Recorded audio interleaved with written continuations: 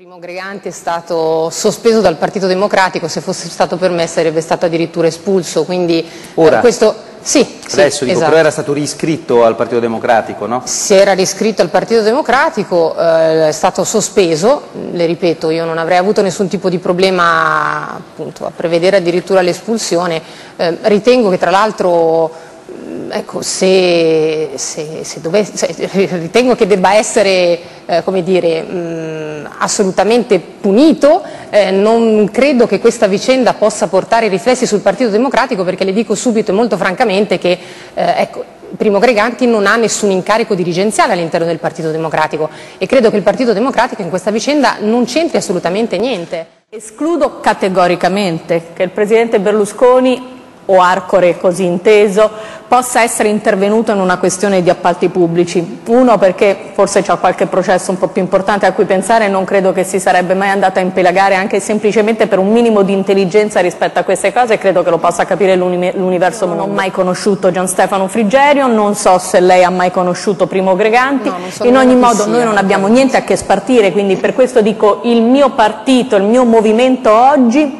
non, è, non ha nulla a che vedere con quello che è Il accaduto in vecchio e il Expo. nuovo nei partiti convive molto... Guardi, ribadisco, io sono in Forza Italia dal 1994, avevo 26 anni quando mi sono iscritta, anzi meno per, per la verità, 25.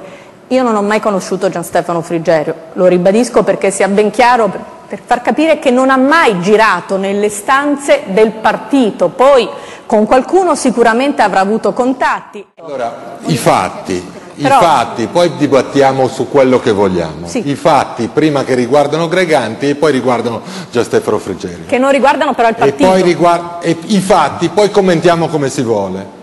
Greganti, che sicuramente loro non hanno conosciuto, dopo essere stato condannato per mani pulite, viene riscritto al PD, partecipa al lo vedono tra i banchetti della eh, festa nazionale del PD a Torino, gli fanno vendere le coccarde. Non è bello far vendere le coccarde di un partito a un tangentista.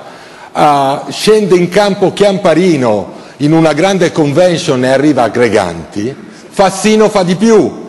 Quando si candida alle elezioni a sindaco di Torino, chi si sceglie come garante del suo comitato elettorale? Un signore che si chiama Quagliotti.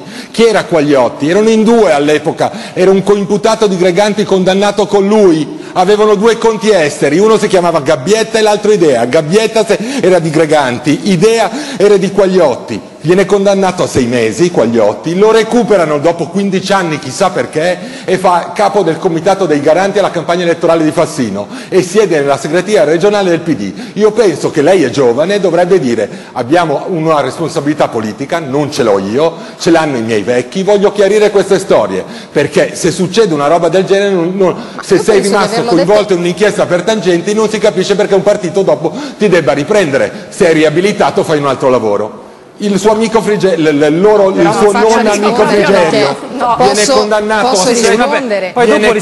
condannato a sette anni per una sfilza di reati impressionante durante mani pulite, ha preso tangenti tu- tu- tu- per- da tutti, concussione, corruzione, turbativa d'asta, sette anni, Pre- ha preso anche 150 milioni di euro che, finiscono, che partivano da Paolo Berlusconi per una discarica che finiscono a lui.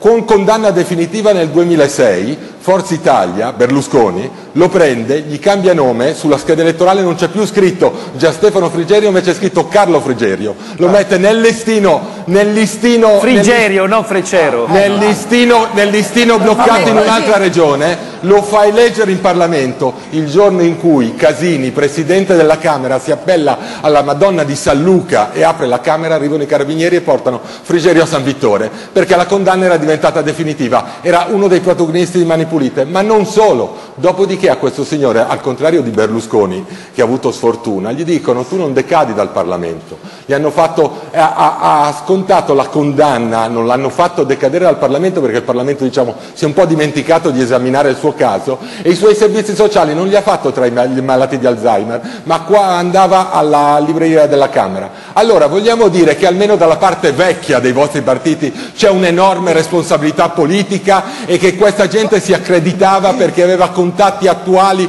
con alcuni vertici dei vostri partiti, perché se non diciamo questa cosa ci raccontiamo balle e diciamo che siete uguali agli altri.